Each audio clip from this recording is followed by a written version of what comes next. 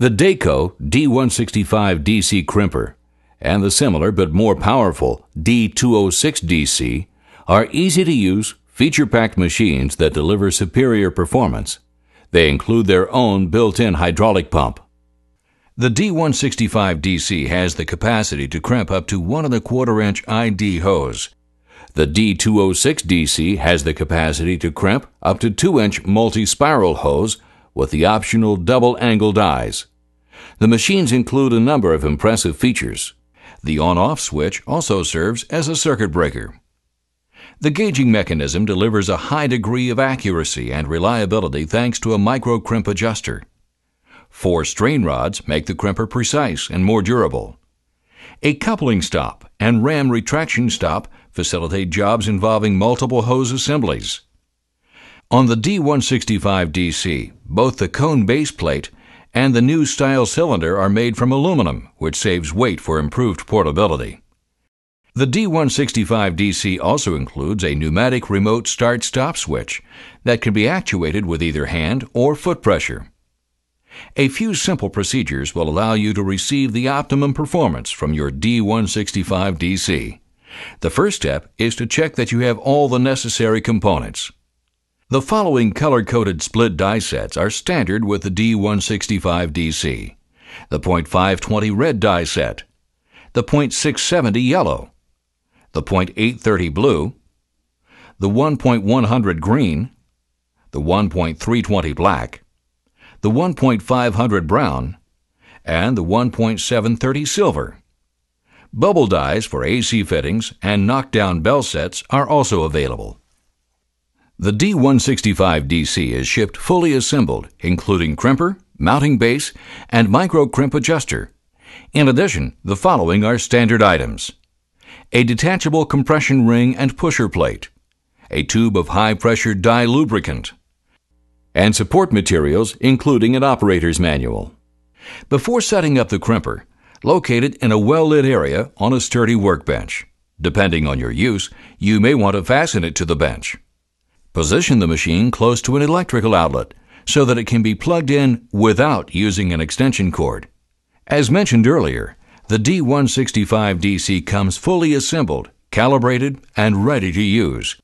The hydraulic pump has a maximum output of 10,000 psi, so be careful around the machine and respect this power. The internal relief valve is set at the factory. Don't change it. The ram moves down with a force of 62 tons, so be extremely careful not to put foreign objects in its way. As a safety precaution, do not mix and match Dayco hoses and couplings with those of another manufacturer. Before using the machine, open the cap on the pump reservoir to check the oil level. The level should be one and a half inches below the top of the tank. The sight glass on the back of the tank makes it easy to see and measure the oil level. If oil must be added, fill with ISO 46 weight oil. If the machine will be used in temperatures of 50 degrees Fahrenheit or colder, ISO 32 weight oil should be used. As noted, the unit is calibrated prior to shipment, but a calibration check should be performed to be certain the crimper is operating properly. To check calibration, first place the standard pressure plate in the base of the crimper. Next, place any standard die set on top of the pressure plate as shown. Then lubricate the compression ring and place it on top of the die set. Slide the pusher onto the stud of the hydraulic ram. Set the micro crimp adjuster to 95. Now turn the power switch on. Next, press and hold the start switch until the ram extends. Fully seats all components and fully closes the die set. On the D165 DC machine, the calibration is correct if the motor shuts off approximately one second after the pump starts to build pressure. The sound of the motor will change when this happens. If the shutoff time is not approximately one second, the crimper must be recalibrated. Recalibration is accomplished by adjusting the actuator in the microcrimp adjuster. To make this adjustment, hold the micrometer barrel with a 5 16 open end wrench then rotate the stem either in or out with a 5 30 seconds hex key.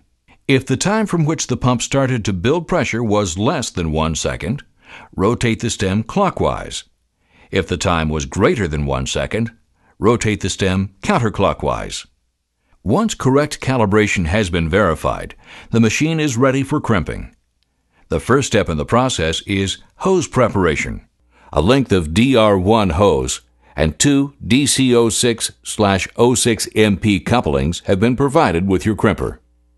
The hose cut length is determined by starting with the overall length of the assembly and subtracting the cutoff factor for each coupling. For this information, see the coupling specifications in the Dayco Hydraulics catalog.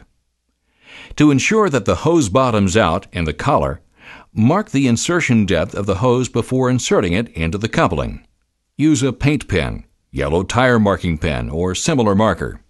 Next, the coupling should be fastened securely in a vise, and the hose pushed into the coupling with a clockwise twisting motion until the hose bottoms out, at which time the ferrule or shell will have covered the mark on the hose.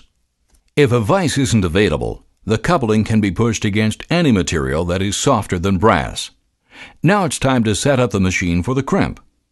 The first step is to identify the correct die set using the crimp specs in the Dayco Hydraulics catalog.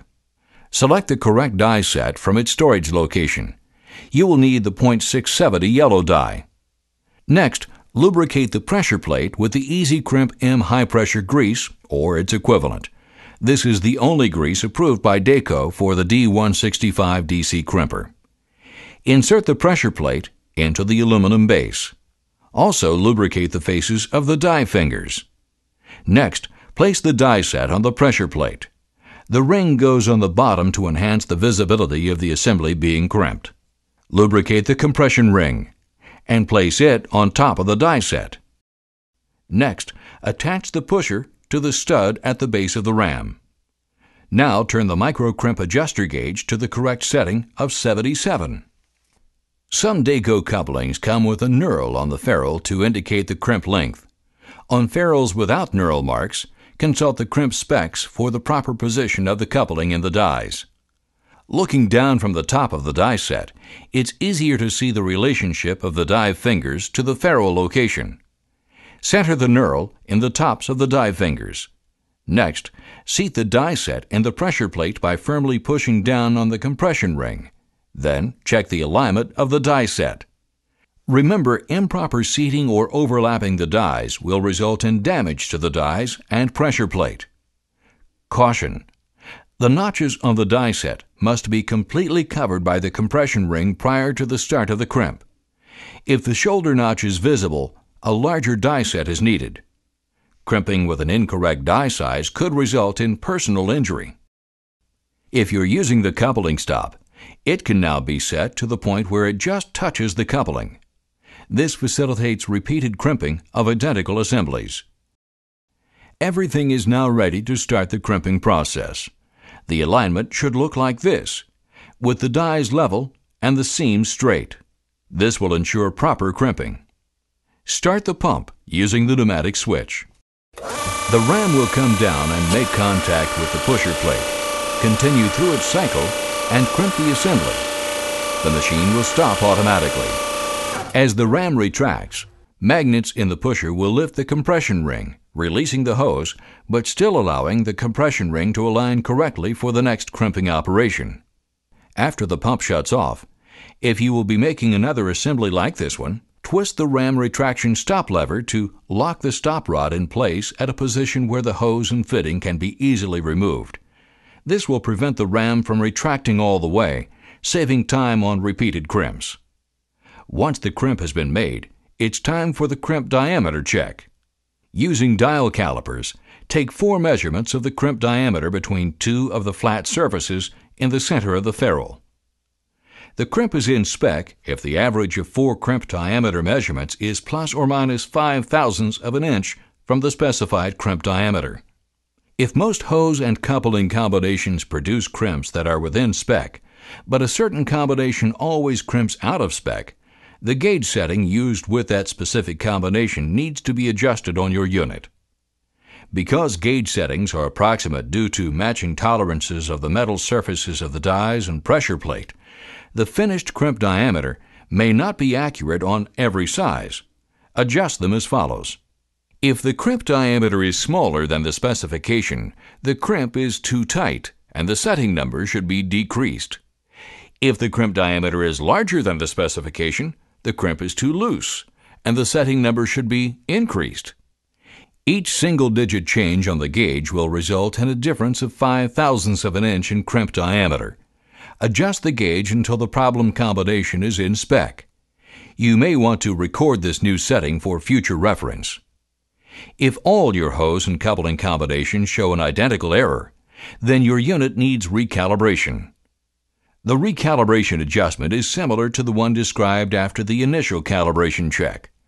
To recalibrate the machine, hold the micrometer barrel with a 5 16 wrench, then rotate the stem with a 5 32 hex key.